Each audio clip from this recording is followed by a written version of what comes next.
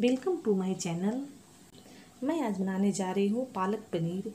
बहुत ही टेस्टी और इजी रेसिपी के साथ।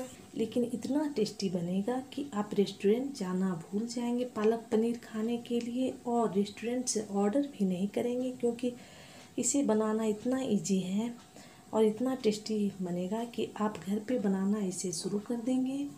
तो चलिए इसे बनाना हम शुरू करते हैं। इसे बनाने के लिए हमें ले लेना है 500 ग्राम पालक। पालक को मैं धोकर अच्छी तरह से साफ़ कर ली हूँ।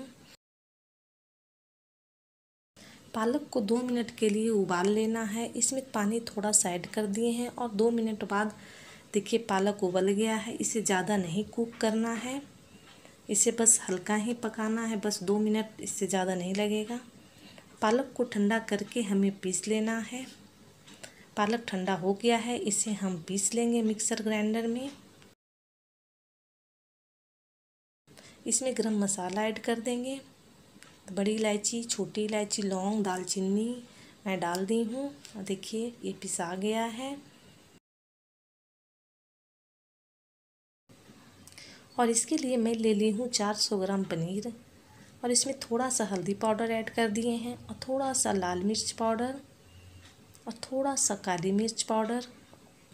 इन सबको हमें मिक्स कर लेना है। पनीर के ऊपर अच्छी तरह से कोट कर लेना है। पनीर में अब मसाले अच्छी तरह से मिक्स हो गए हैं। पनीर को हमें फ्राई करना है। तेल को मैं अच्छी तरह से गर्म कर ले रही हूँ। तेल पूरी तरह से गर्म होना चाहिए। इससे पनीर ज़्यादा सॉफ्ट बनेगा। और इसमें मैं पनीर ऐड कर दी हूँ। पनीर डाल के इसे थोड़ा सा फ्राई करना है। बहुत ज़्यादा फ्राई नहीं करना है। इसे हल्का ही फ्राई करेंगे हम।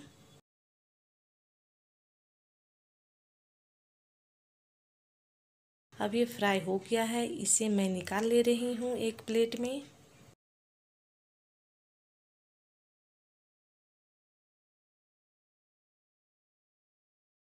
बचे हुए तेल में थोड़ा सा तेल और ऐड कर दिए हैं। इसमें थोड़ा सा जीरा ऐड कर दिए हैं। जीरा चटक गया है। अब इसमें चार प्याज को मैं फाइन चॉप कर ली हूँ। इसे ऐड कर दी हूँ। प्याज को हमें अच्छी तरह से फाइन चॉप करना है। अब प्याज को हमें फ्राई कर लेना है। गोल्डन ब्राउन होने तक।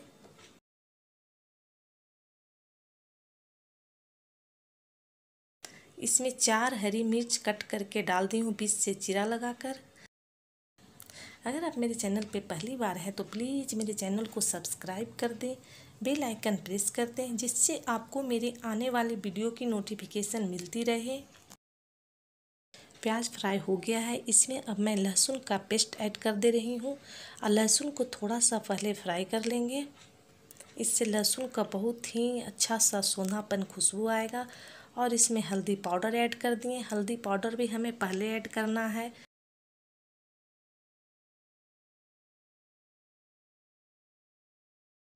अब इसमें हमें टोमेटो प्यूरी ऐड कर देना है। दो टमाटर को मैं मिक्सर ग्राइंडर में पीस दी थी, इसे ऐड कर दी हूँ।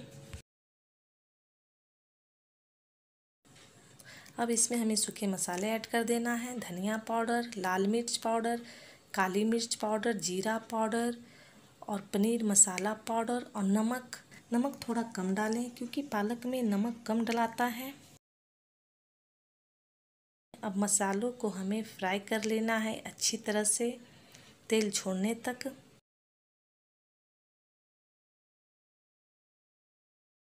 मसाला को ढक ढक कर हमें फ्राई कर लेना है।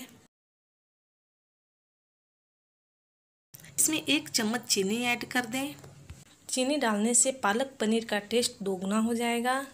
पालक पनीर में चीनी डालने से पालक का जो कड़वापन होता है वो दूर हो जाता है और पालक पनीर का टेस्ट बहुत ज़्यादा बढ़ जाता है। एक बार चीनी ज़रूर डाल कर देखें और इससे एकदम रेस्टोरेंट से भी ज़्यादा टेस्टी पालक पनीर बनेगा। तो इसमें अब मैं पालक जो पीस कर रखी थी उसे ऐड कर दी हूँ। और इसे थोड़ा सा फ्राई करना है।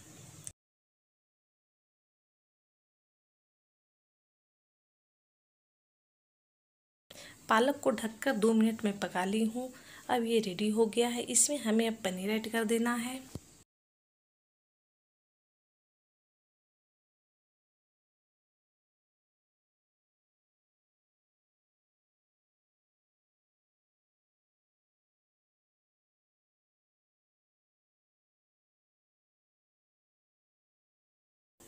इसमें अब दो चम्मच घर का फ्रेश मलाई ऐड कर दे रहे हैं। मलाई कभी भी गैस धीमी करके डालें, एकदम धीमी आँच पे, नहीं तो मलाई फट जाएगा। तो मैं गैस को धीमा कर दी थी और इसे मिक्स कर लिए हैं। पालक पनीर बनकर तैयार है, इसे सर्व करें। बहुत ही टेस्टी पालक पनीर बना है। एक बार इस तरह से बनाकर ज़रूर देखें, आपको बहुत ही पसंद आएगा। अगर आप मेरे चैनल को सब्सक्राइब नहीं किए तो प्लीज़ सब्सक्राइब कर दें। बेल आइकन प्रेस कर दें, जिससे आपको मेरी आने वाली वीडियो की नोटिफिकेशन मिल सके।